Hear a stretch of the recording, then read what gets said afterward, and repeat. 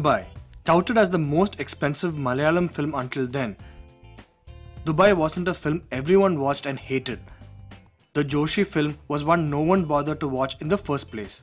In the film, Mammootty played Ravi Mammen, a millionaire who also went by the name Major Ravi in his past life. Dubai was what one could call a very cool film. We finally got a Malayalam film hero who could actually afford a private jet or a helicopter back when a Pajero or a Prado was the maximum they could get. At close to three and a half hours, the film had a plot the size of Russia and a million little subplots, but it's the characters that continues to live on even today. Like Cochin Hanifa's Victor Sebastian, a sinfully underrated negative character who's actually more powerful than the film's main villain. Biju Menon's Kiran Cherian Pothan too was an interesting presence, playing the younger brother archetype, even though his eventual fall was far too predictable. But if someone were to make a list of films based purely on how good Mammootty looked in them, Dubai surely has to make it to the top 5.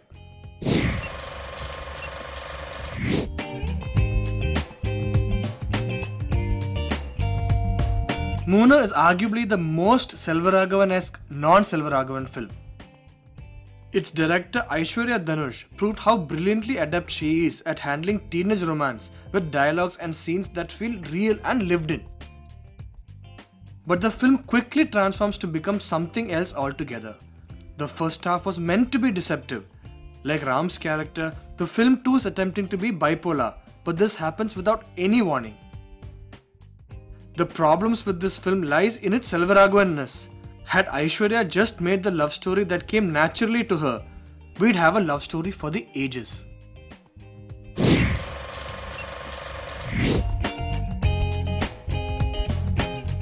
Two thousand eleven was the year two Malayalam films borrowed their titles from multi-narratives from the West, Steven Soderbergh's Traffic and the Brazilian classic City of God. City of God, unlike Traffic, required complete attention and patience because the film had little to keep coming back to.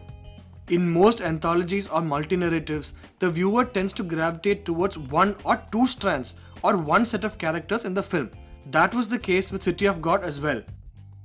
Because even Prithviraj's portions aren't really convincing. Nothing in the film explains his character Jyotilal's undying love and devotion towards the spoiled businessman named Sony. Had it released two or three years later, it would certainly have had a better run. It now has a small but strong legion of fans.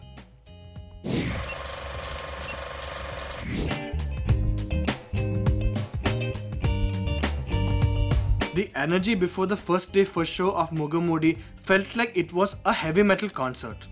You can predict the fate of most disasters within the first 5 minutes, but that wasn't the case with Mugamudi. The first hour or so was filled with several rewarding moments, including the hero introduction scene. In no other film universe will you find a task with such diversity, from trans to little people, from a group of visually challenged drinkers to a godman discussing philosophy. Like how the love story with Jesse helps Karthik find himself and become a successful director in VTV, it is Lee's love for Shakti that sets him on the path to become Mugamudi. The flaws are many and the film remains difficult to sit through even today, but at least it tried, unlike Kandasamy.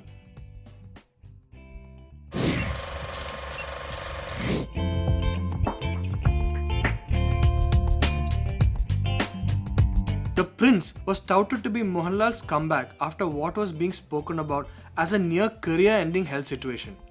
Watching the film again today is a fascinating exercise in understanding why audiences rejected this film. The Prince is the least Malayali Malayalam film of all time. There's not a lot one can talk about in terms of plot and storyline. Two generations of the mafia fight each other to get a piece of the same territory but what the film lacks in terms of substance, it more than makes up with its absolute disregard for subtlety. Was The Prince a premonition given how Mohanlal repeatedly chose the star before the actor after this?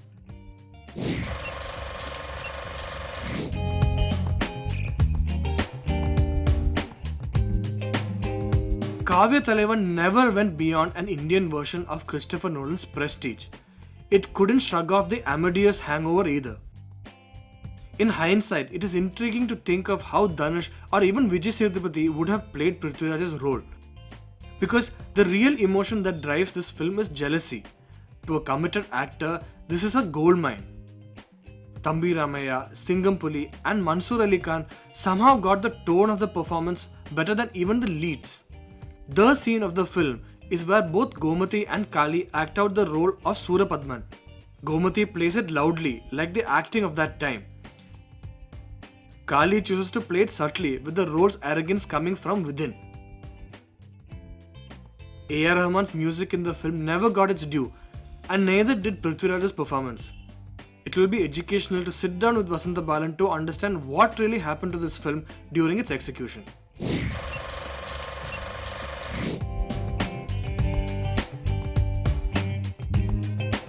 If there was ever a film hurt by terrible marketing and the title, it has to be Sundara Killadi.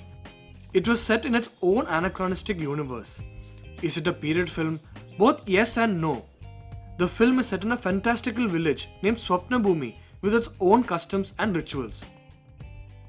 Even when we, along with the hero, find their customs unacceptable, we still believe it.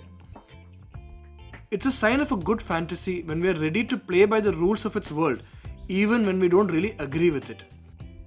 The film's aesthetics seems to have been completely based on the Manam Telinje Ninnal song from Priyadarshan's Thenmavin Kombathu, another fantasy. No one can deny the vision behind this film. The emotions hold up even today. Had the film been marketed differently, it might have become a big commercial success.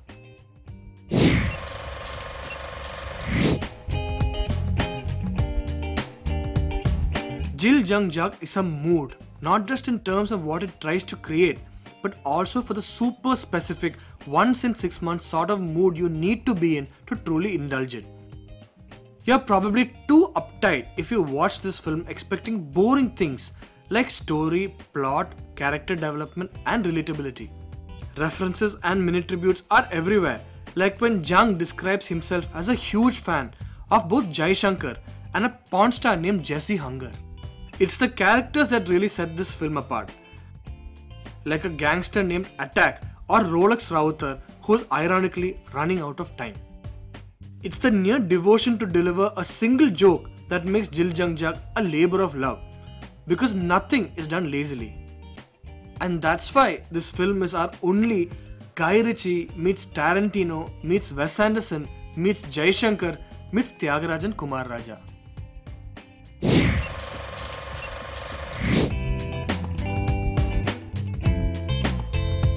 The world building in Iblis is fascinating. It is set in no definite time or place, but it has its own set of quirks and rules. Death, for instance, is treated like a celebration. In Iblis, we are only glad to join the protagonist and his sidekicks as they plot to kill his lover Fida, only so he can get together with her in the afterlife. Things tend to get a bit slow towards the end, and one feels as though the rules start contradicting each other but there's always the joy of watching something that came from a unique mind in a film that was made with a lot of love. Iblis perhaps needed some better marketing and a proper OTT release for it to reach the people who would really appreciate it. It's a film that deserved a lot more love than it got during its initial release.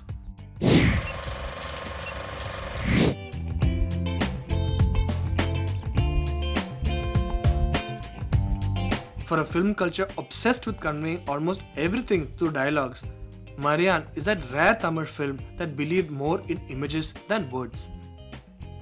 Just how delicious is the idea to make a film about the god of the seas himself being taken away from water to be put right in the middle of an endless desert. The cinematography by Marc Koninckx is splendid. The images are as much about the tight close ups taking us into the minds of Pani and Maryan as they are about extreme white shots that cover the skies, the seas, and the land. Because again, we're dealing with a god and a goddess here. So, which films would you add to this list of flops of glory?